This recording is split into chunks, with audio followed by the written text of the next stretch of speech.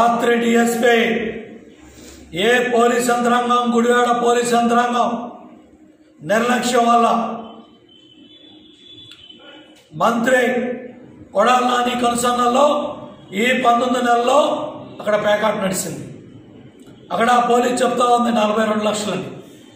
ఈరోజు ఎస్పీ గుంటూరులో యాభై ఐదు లక్షలని చెప్తున్నాడు. రాత్రి నలభై రెండు లక్షలు ఇప్పుడు యాభై ఐదు లక్షలు. అంటే వీళ్ళ లెక్కలు నేను అడుగుతా ఉన్నా. ముఖ్యమంత్రి జగన్మోహన్ రెడ్డి గారిని. ఈ డబ్బులు కౌంటింగ్కి మెషిన్స్ తీసుకెళ్ళారు. డబ్బులు లెక్క పెట్టే మెషిన్లు తీసుకెళ్ళి గంటలు గంటలు అక్కడ కూర్చొని మెషిన్లతో డబ్బు లెక్క పెట్టారు. గోల్ సంచుల్లో డబ్బు లెక్క. లెక్క పెట్టారు. ఏమైపోయినాయి ఆ డబ్బులు? తాడేపల్లి రాజప్రసాదానికి వెళ్ళాయా? సజ్జల రామకృష్ణారెడ్డికి వెళ్ళాయా? ముఖ్యమంత్రి జగన్మోహన్ రెడ్డి గారు రాష్ట్ర ప్రజలకు ఎవరిని ఇవ్వాలి. ఇవాళ మా నాయకులను బూతులు తిట్టడమో లేకపోతే మమ్మల్ని బూతులు తిట్టించే కార్యక్రమం జగన్మోహన్ రెడ్డి గారు మీరు తప్పించుకోలేరు. ఐదు కోట్ల మంది ప్రజలు అడుగుతూ ఉన్నారు. దీనికి సమాధానం చెప్పమని డిమాండ్ చేస్తున్నాం. ఒక సామాన్యుడు మాట్లాడితే పట్టించుకోం. కానీ ఒక బాధ్యత గల మంత్రి క్యాబినెట్ మంత్రి.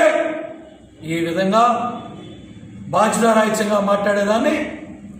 మంత్రి కొడాలి నాని మాటల్ని తీవ్రంగా ఖండిస్తున్నాను. నీ బూతుల మాటలు నీ బూతుల భాష చంద్రబాబు నాయుడు గారినో నన్ను లోకేష్ బాబునో మా కొనకల నారాయణ మమ్మల్ని తిడితే నీ పాపాలు పోవు. పేకాట ఆడించేది గుడివాడలో నిస్సిగ్గుగా దొరికే ఇంకా ఎదురుదాడి చేస్తావా?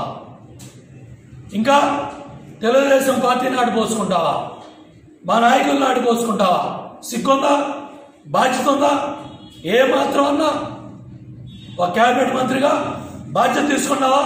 నీ నియోజకవర్గంలో గుడివాడ మార్కెట్ యార్డ్ చైర్మన్గా ఉన్న నీ మార్కెట్ యార్డ్ డైరెక్టర్ నీ ఆధ్వర్యంలో ఎంత వెచ్చలవిడిగా పేకటాడిస్తూ ఉంటే దొరికితే కోట్ల రూపాయలు దొరికితే కార్లకు సీజ్ అయితే వెహికల్ సీజ్ అయితే కోర్టుకి ఇవాళ ముద్దాయిలంతా కూడా నీ అండ చూసుకొని రాష్ట్రంలో విచ్చలవిడిగా ఇవాళ కార్లు ఏ ప్రాంతాల నుంచి వచ్చినాయి?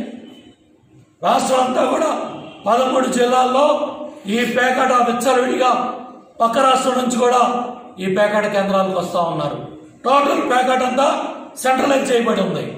గుడివాడ కేంద్రంగా సెంట్రలైజ్ చేయబడి ఉంది ఒక నిజాయితీ గల పోలీస్ అధికారి ఈ వాస్తవాన్ని బయటికి తీసుకొచ్చాడు. ఎన్ని కాయిన్స్ దొరికాయి? బ్యాంక్ ఎంత దొరికింది? ఎఫ్ఐఆర్లో ఏ సెక్షన్లు పెట్టారు? తాడేపల్లి రాజప్రసాదంలో ముఖ్యమంత్రి నివాసం ముందే మంత్రి కొడాలని బూతులు మాట్లాడుతున్నాడు. అంటే ముఖ్యమంత్రి ప్రోత్సాహంతోనే ఈ బూతులు వస్తూ ఉన్నాయి ఈ భాష వస్తూ ఉంది తప్పించుకునే కార్యక్రమం చేస్తూ ఉన్నాడు. మళ్ళీ ఆడిస్తానని చెప్తా ఉన్నాడు. యాభై రూపాయలు పెనాల్టీ వేస్తారు. దీన్ని ఎవరు లెక్క పెడతారు? ఏమవుతుంది? ఒక బాధ్యత గల మంత్రి ఇంత బాధ్యత రాజ్యంగా కోత ముక్కల్ని లోనా బయట ఆటల్ని జోదాన్ని ప్రోత్సహించే విధంగా యంత్రాంగాన్ని లెక్క పెట్టిన విధంగా యంత్రాంగాన్ని భయపెట్టే విధంగా బాధ్యత రాజ్యంగా ఈరోజు మాట్లాడాడు. దీనికి ముఖ్యమంత్రి సమాధానం చెప్పాలి. కేబినెట్ మంత్రి ఒక జోదాన్ని పేకాట్ని ప్రోత్సహించే విధంగా మాట్లాడుతున్నాడు కాబట్టి ముఖ్యమంత్రి కళ్ళు తెరవాలి. ఇప్పటికైనా మంత్రి కొడాలని బర్తరఫ్ చేస్తారా? ముఖ్యమంత్రి సమాధానం చెప్పాలి. ఈరోజు సాయంత్రం ఐదు గంటలకి గవర్నర్ని కలవటానికి ముఖ్యమంత్రి వెళ్తున్నట్టుగా వార్తలు వచ్చాయి. దమ్మోదైన ముఖ్యమంత్రి గొప్ప మంత్రి కొడాలని బర్తరఫ్ చేసే ధైర్యం నీకుందా భరత్ అనే నేను. సినిమా చూస్తే సరిపోదు. జగన్ అనే నేను అని ప్రమాణ స్వీకారం చేస్తే సరిపోదు. బైబిల్ బట్టి ప్రమాణం చేశావు. రాజ్యాంగం మీద ప్రమాణం చేశావు.